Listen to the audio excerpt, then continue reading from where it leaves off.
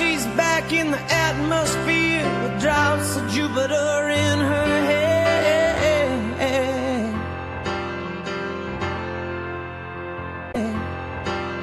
Summer hand walks like rain, reminds me that there's a time to change.